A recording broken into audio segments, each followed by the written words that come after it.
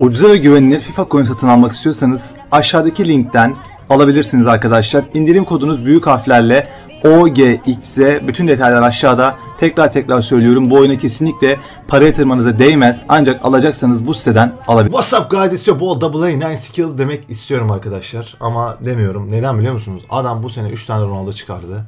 Ben size selamünaleyküm diyorum arkadaşlar. Hepiniz hoş geldiniz videomuza. Ee, dün akşam bir paket açılımı canlı yayını yaptık. Orada size söz vermiştim. Kadromu göstereceğim, kadromu göstereceğim, kadromu göstereceğim diye. Kadromuzu arkadaşlar sonunda kurduk. Gösterelim şu anda. 12 milyon coinslik bir kadro.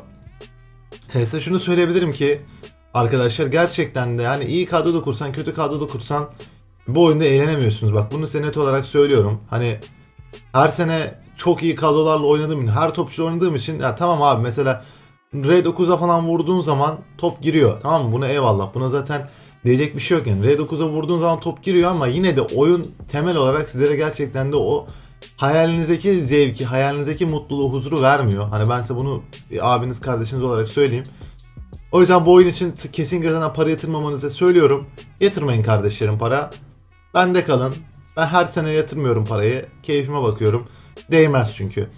Şimdi kadromuzu gösterelim. Arkadaşlar stoperde Ricard Varan tercihinden e, yana gittim. Ricard zaten çok seviyorum ben kartını görmüş olduğunuz gibi. Yani, yani gerçekten ya Hulit gibi bir kart anladınız mı?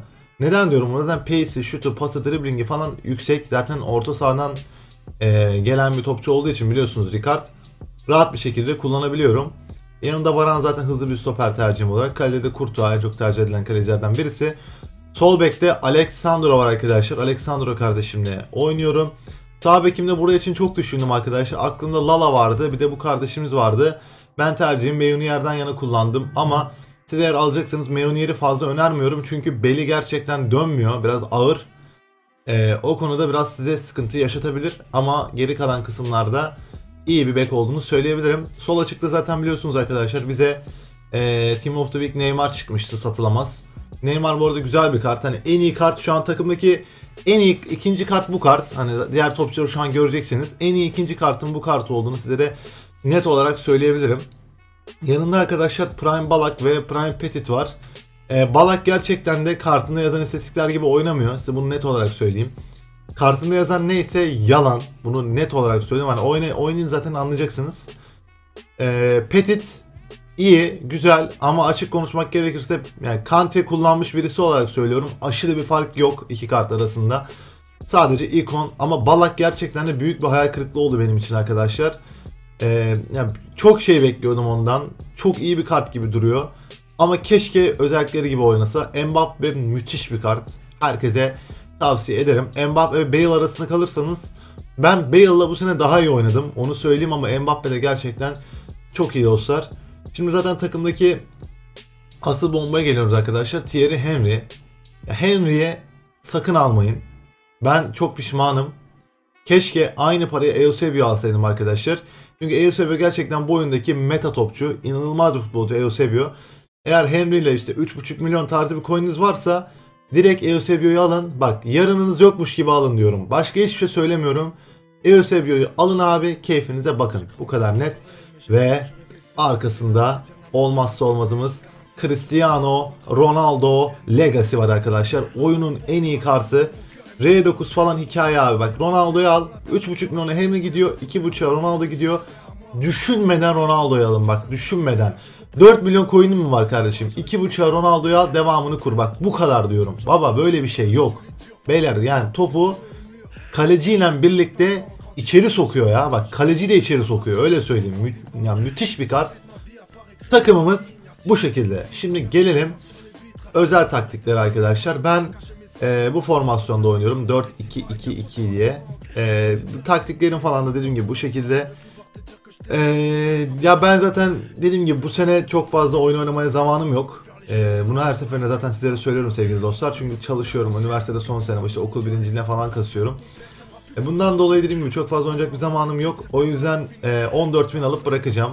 14 tane galibiyet alıyorum ve bırakıyorum. Çünkü daha fazlası insanı mental olarak yoruyor arkadaşlar. Yani hafta sonunuzu buna verdiğiniz zaman bu oyun gerçekten insanı kafa olarak yoruyor.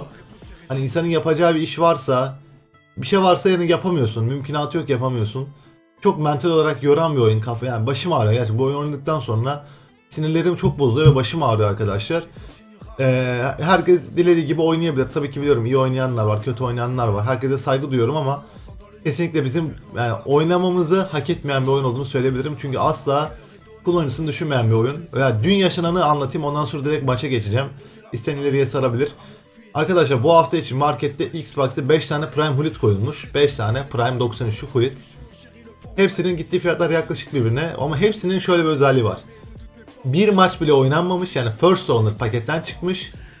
93'lük Gullit. 5 tane duruyor Xbox'ta. Ya kardeşim hani EA bu kadar da insanları gerizekalı sanma ya. Kendi listelediği kartlar arkadaşlar. Tamamen kendi listelediği kartlar. 5 tane sıfır maç oynanmış Gullit. Yani bu böyle bir şey olması imkansız.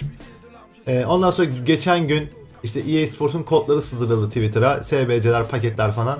Sırf kodlar sızdırıldı diye dün mesela gelecek SBC'leri veya paketleri e, farklı şekilde çıkarlar veya çıkarmadılar arkadaşlar. Hani böyle bir şirketten bahsediyoruz. Kesinlikle bizleri hak etmiyor. Ben size bunu net olarak söylüyorum ve bundan 4-5 sene sonra FIFA diye bir oyun piyasada olmayacak eğer böyle giderse. Çünkü herkes her sene böyle sıfırdan kadro kurmak, bir daha bilmem ne yapmak kimse bunu uğraşmayacak bu süre sonra. E, ve insanların yaşı geçtikçe zaten oyunlara olan ilgileri de düşüyor. Ben mesela bu kanalı açtığımda 4 sene önceydi. Üniversiteye yeni başlamıştım. Şimdi üniversiteyi bitiriyorum. Yani dediğim gibi arkadaşlar e, tatavasız gerçekten de söylüyorum ki her sene gittikçe insanın oyunu tekrardan alası, oynayası, bir daha takım kasma zevki azalıyor ki oyuna yeni başlayan insanlar da takım kasamadıkları için bir senede falan bırakacaklar. Ve bu oyun bu şekilde boka gidecek. Gerçekten oynanmayı hak eden bir oyun olduğunu düşünmüyorum sevgili dostlar. Şimdi direkt maça geçelim.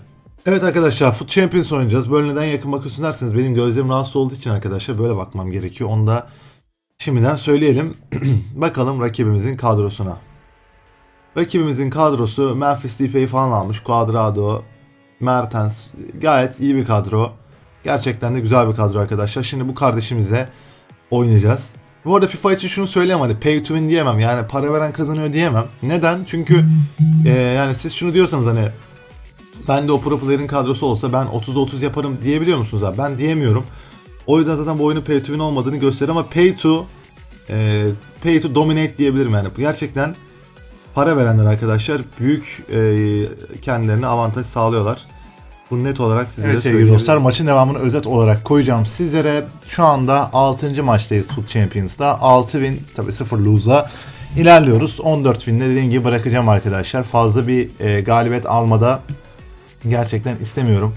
E, çünkü ondan üzerisi sizin mental olarak yoruyor arkadaşlar. Yani oyun size karşı handikap yaptırarak sizin o handikapı yenmenizi, psikolojik olarak sakin kalmanızı falan istiyor.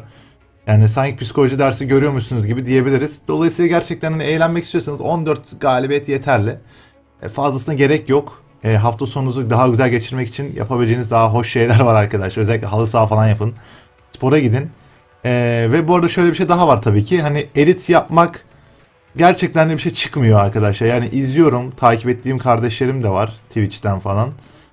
Mesela Emir kardeşimiz açıyor açıyor. Yani adam 25 win yapıyor kardeşim. 25 win. Yani 30 maçın 25 tanesini kazanıyor. O sakinliği gösteriyor. Ama gel gelelim ki paket açtığı zaman çıkmıyor ve yani gümüş 1, altın 3, altın 2'den falan elitten daha iyi çıkaran insanlar var. Dolayısıyla bu oyunda arkadaşlar çıkacağı varsa paketten çıkıyor. 5K'dan da çıkıyor, 10K'dan da çıkıyor, 50K'dan da çıkıyor, 100K'dan da çıkıyor. Hani ben iyi paket açmanın sadece e, bir şey, paketten çıkması için yeterli olduğunu düşünmüyorum. Şans da gerekli. İyi paket açmanın tek avantajı arkadaşlar quick ettiğiniz zaman gelen paranın daha fazla olması. Yani baş çıktığı zaman gelen paranın daha fazla olması. Ya onun dışında yoksa dün e, Werner'i çıkardığımız paket nadir altın gümüş oyuncu paketi. Yani normalde SBC olsa yapıp açmazsınız ama açıyorsunuz ve 400 kalık bir adam çıkıyor. Dolayısıyla kendinizi yıpratmayın. Öne, en önemli olan sizsiniz. Kendi kişiliğiniz, kendi benliğiniz arkadaşlar. Zamanınızı güzel geçirin. iyi kadro kuracağım diye kesinlikle de bu oyuna para yatırmayın. Ben 0 TL ile kurdum. Yaptığım bütün trade'leri zaten sizlerle birlikte paylaşıyorum. Bu haftada şimdi bu kadroyu satıp arkadaşlar 14 binden sonra bu kadroyu satıp bir yatırım yapacağım. Dün biliyorsunuz ki bir sürü 125K'lar falan filanlar geldi arkadaşlar. Şu anda takım kondisyonları, bazı pozisyon değişikliği kartları, bazı kimya stili kartları gerektiğinden çok daha fazla ucuza gidiyor ve ben de 12 milyon coins'i tamamen bu kartlar üzerine yoğunlaşacağım. Kart spesifik olarak bir kart ismi söylemek istemiyorum. Bu sefer e, benim üzerime geliyorsunuz işte artmadı, azaldı mı, bilmem ne oldu mu diye. Ben sadece yapacağım yatırımı sizlere söylüyorum. Şu anda Bitle veya Buy ucuz alınabilen, normalde daha pahalıya giden kondisyon pozisyon değiştirme, e, kimya stili kartları, onun dışında birkaç tane yüksek ratingli oyuncu gibi gibi bunları alacağım. Ve bekleteceğim arkadaşlar. Dediğim gibi toplamda 15 milyon coins'i buna gömeceğiz. Bakalım haftaya 30 milyonla çıkabilecek miyiz arkadaşlar? Benim şu anda hesaplamalarıma göre 15 milyon yatırdıktan sonra yaklaşık 23-24 milyonla çıkacağım gibi geliyor haftaya. Bakacağız. Burada güzel bir golle zaten maçı noktalıyorum arkadaşlar. Adamın yapabilecek pek de bir şey yok. İyi bir oyuncu. Çok fazla iyi bir oyuncu değildi. Ben de hemen e, iyi kartlar sayesinde domine ederek maçı kazandım ve adam da arkadaşlar maçtan çıktı görmüş olduğunuz gibi.